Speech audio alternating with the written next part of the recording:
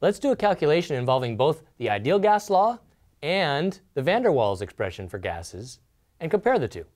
So helium and carbon dioxide will calculate the pressure at 298 K for two volumes and a mole of gas.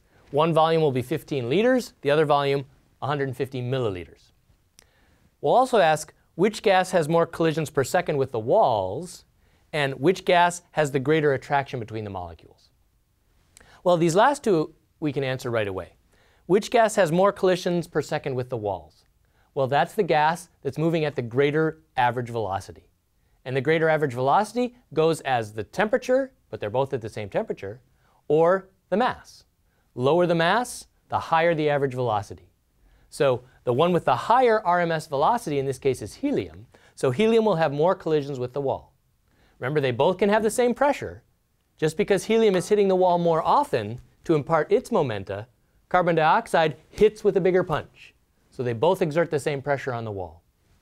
Now, what about the greater attractions? Carbon dioxide will have the greater intermolecular attractions. And we would see that reflected in the size of the A parameter in the van der Waals expression.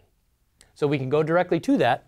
Let's do the calculation for the pressure of one mole of both of these gases in a 15 liter and 150 milliliter flask at 298.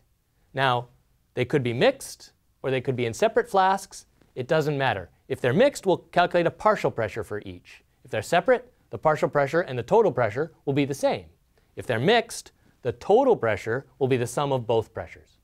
But either way, we can calculate the pressure for helium and carbon dioxide. So first we'll do it for a real gas situation.